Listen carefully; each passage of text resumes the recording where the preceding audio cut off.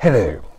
Hello to all our students, our faculty members, and interested members of the public. Welcome to our first ever lunchtime lockdown lecture uh, from the MBA School of MBA Credentials.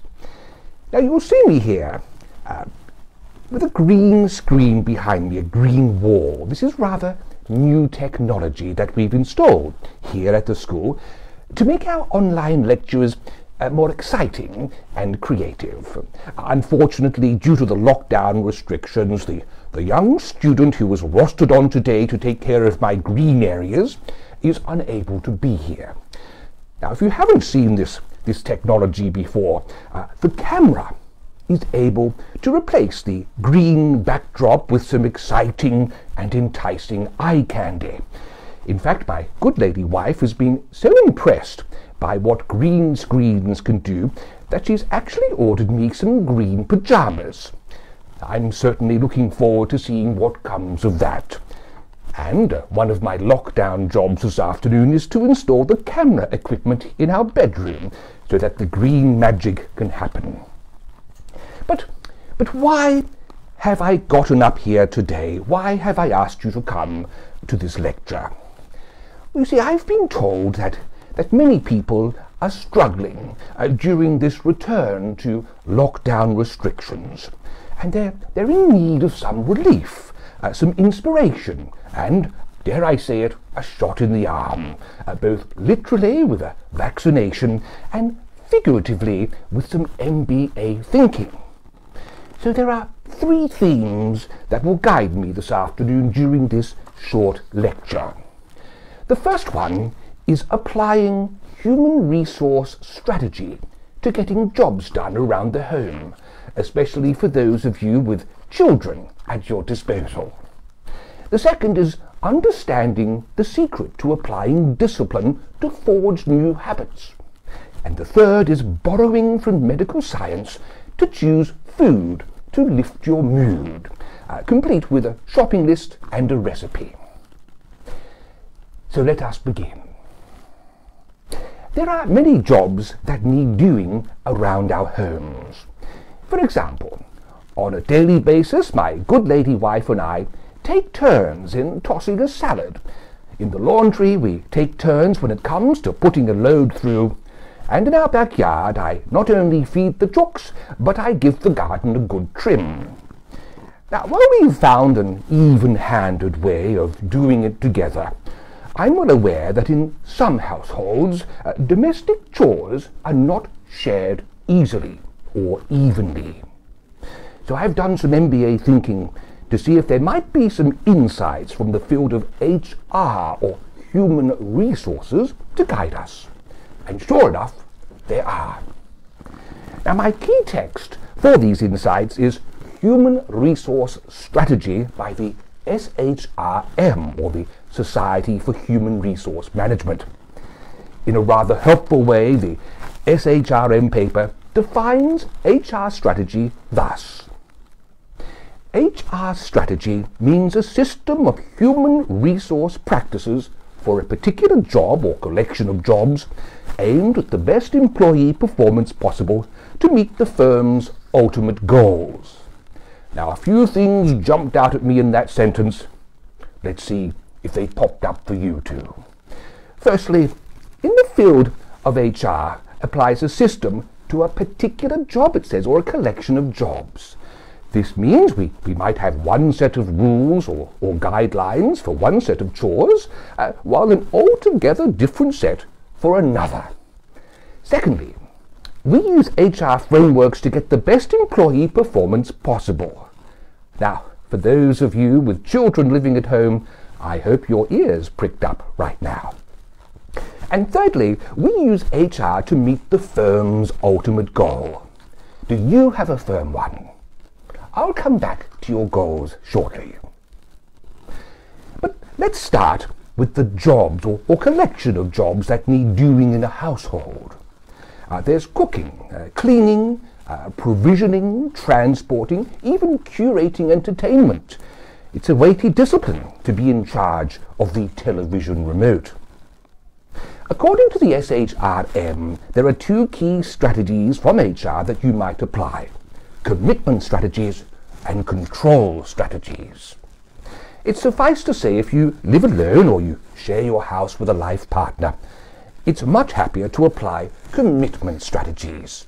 You see, in commitment strategies, uh, peers of equal power and experience divide tasks in a sane and sober manner, and you can take turns in finishing things off. However, where there is a power and experience differential, uh, such as when you have young children or teenagers, or you're in a house share situation in which you have the lease in your name, control strategies might be best.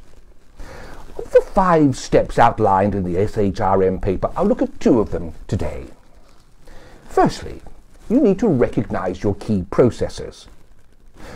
What are the collection of jobs that need doing without fail? Well, my good lady wife and I call these the three C's creating, curating, and cleaning. Creating involves uh, cooking food, uh, coming up with entertainments, and tending one's seeds and seedlings until they take root. To those of us with experience and fertile minds, uh, these tasks are a joy. In fact, this is my good lady's wife, uh, good lady wife's uh, preferred field of endeavour, that of creation, because at harvest time, when I can provide her with a good handful, she never fails in whipping something up that leaves both of us equally satisfied. Uh, curating is my preferred task. See, I scour the TV guides, the, the radio guides, the, the podcast listings, the online library catalogue, and even my own diary to make sure I provide us with a healthy and varied diet of intellectual stimulation. While I do sometimes slip in a comedy caper, uh, most of the time I present our household with good brain food, so that when we're in company, my good lady wife and I can be relied upon for being able to provide enthralling social intercourse. Cleaning, however, is the least enjoyable element in keeping one's home in order. And this is where those of you with children or casual housemates have an advantage. You see, while creating and curating are their own rewards, the group of jobs relating to cleaning are best handled in the context of economic transactions, so that a value can be placed on the tasks and people can be paid in money or credit to get them done.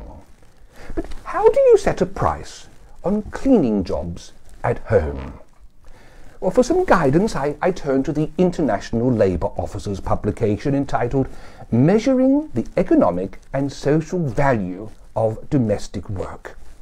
In a most helpful way, it quotes Razavi, 2007, who argues that such domestic work at home could safely fall under the umbrella of care work. In the ILO's Law and Practice Report 2010, such domestic work includes cooking, cleaning, taking care of children, the, the elderly and disabled, and attending to domestic animals. Indeed, that's why I feed the chooks every morning. If we accept this definition of domestic work as care work, then my MBA thinking says we need to find a current award for care sector workers, and then we have our benchmarks.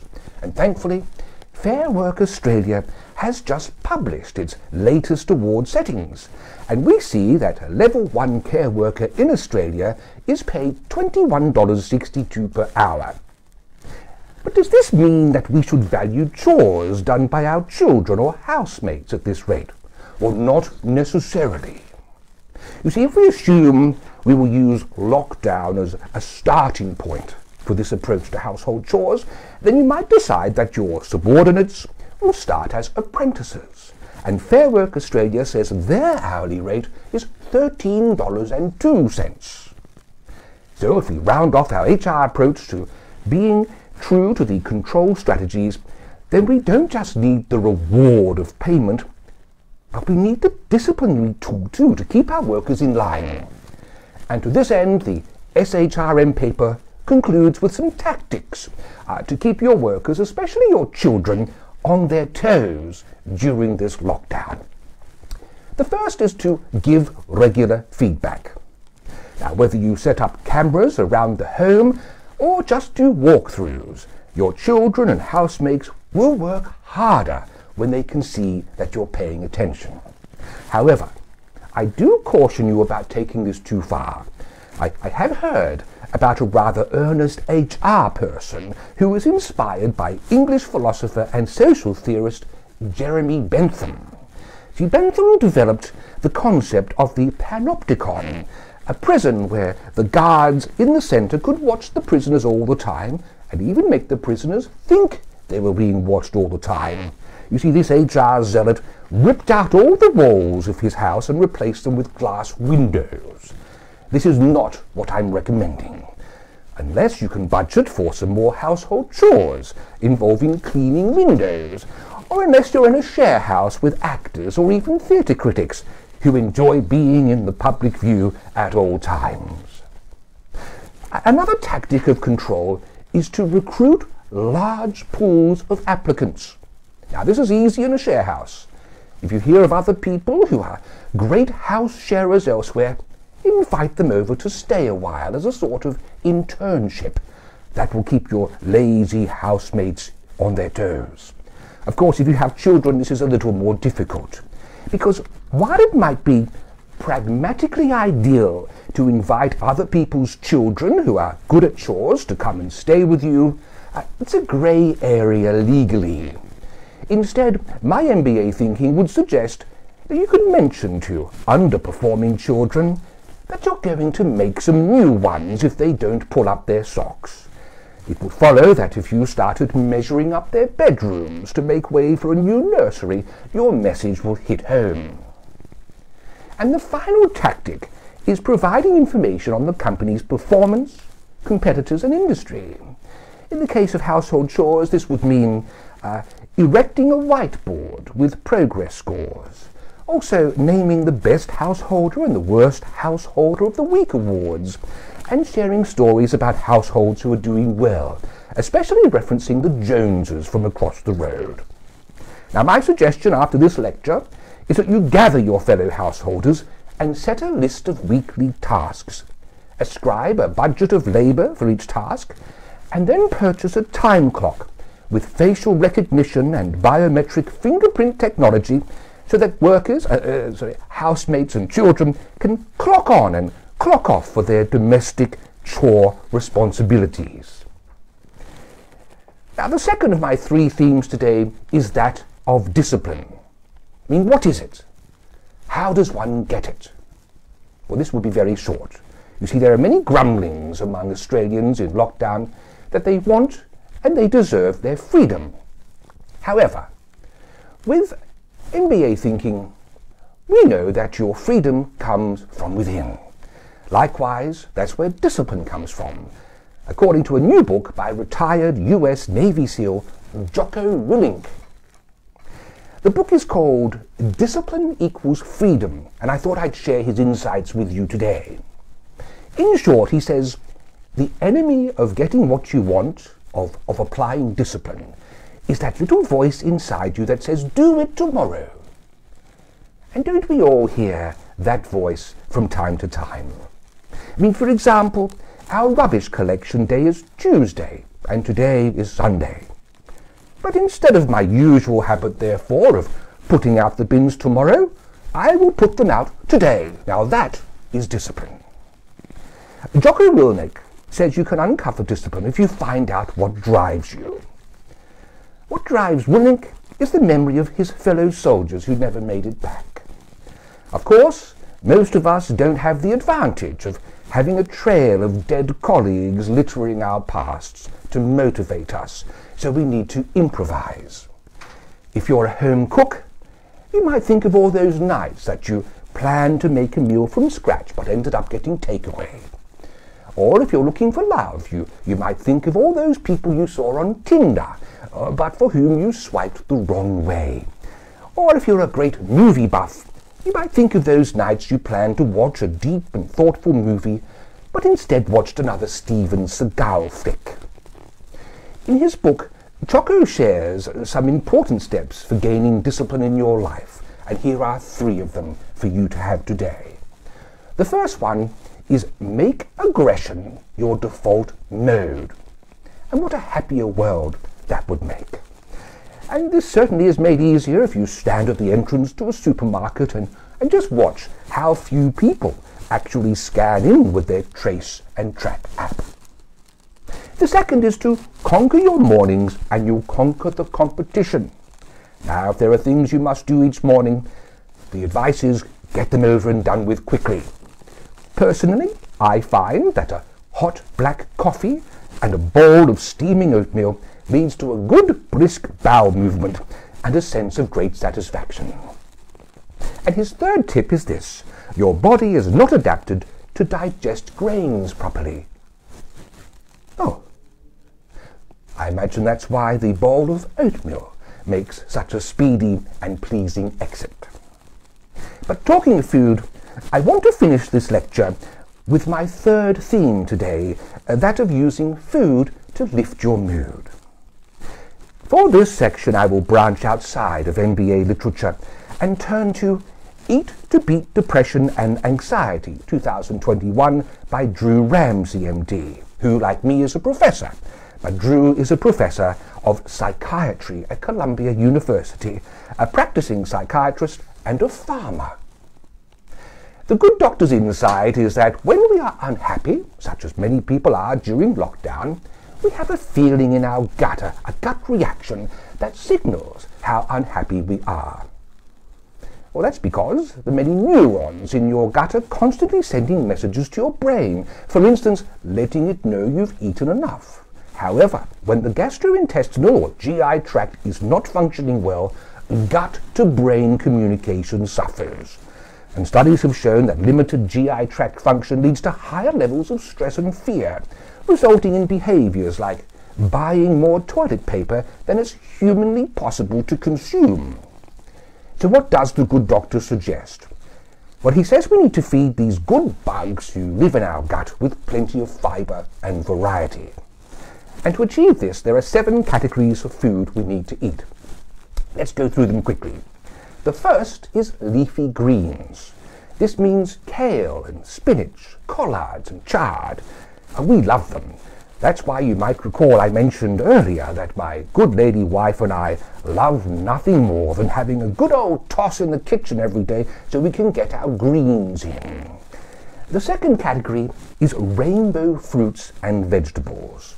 Make sure you have plenty of color variety, not just with your multiracial approach to good HR, but in your shopping trolley. Now, one little trick I use when shopping is that I take a box of Staedtler coloured pencils with me, and as I pick up, say, an eggplant, I choose a pencil of that shade and shove it into my big fruit. I do the same with tomatoes and, and broccoli, etc., until I've used up all my pencils and I have a shopping cart that looks like a porcupine on its way to Mardi Gras. Not only does this mean that I eat the rainbow, but the pencils make it easier to handle your vegetables and you need less shopping bags. The third category is seafood. I'm not a big fan of this one. Although I don't mind the fishy smell, I'm fearful of getting bones stuck in my throat. However, during this lockdown, my, my good lady wife is making sure I get my fill of boneless fish taco, and she has me quite hooked. The fourth category is nuts and seeds. Apparently, getting a handful of nuts every day, along with a serving of seed, really fires up the brain. My fifth category, or his, is meat. The doctor says grass-fed is best. And in the sixth category of dairy and eggs, he says free range is best. I wonder if the author's farm follows these practices. I'm sure it does. And the final category is dark chocolate. Yes, it has its own category. The doctor reports that a study in the National Health and Examination Survey showed that eating high amounts of dark chocolate greatly reduces symptoms of depression. And so, what do we do with this information? Well, firstly, let's create a shopping list. Make sure that you pop out today safely and grab one from each item from the category. For example, here's my shopping list today. One bunch of spinach, one giant eggplant, one serve of crabs, one handful of nuts, one nice rump, one cup of handmade cream, and one three kilogram block of dark chocolate. That should have you feeling good in no time. Oh, and a recipe. I'll leave you with the professor's pick-me-up. You place a spinach leaf, some blended yogurt, and 500 grams of dark chocolate into a food whiz, and you make this delicious smoothie. Let me show you. Look at that, you can hardly see the spinach at all. Ah, that's very nice. No need to toss this afternoon because I'm getting my salad in that drink. Well, all the very best with the rest of lockdown, remembering you can find lots of lovely and helpful articles applying MBA thinking to daily life at our website, mbaschool.com.au. And as our honorary professor Oscar Wilde once wrote, education is an admirable thing, but it is well to remember from time to time that nothing that is worth knowing can be taught. Good afternoon, and let's put the rest of our lockdown to good use. Adieu.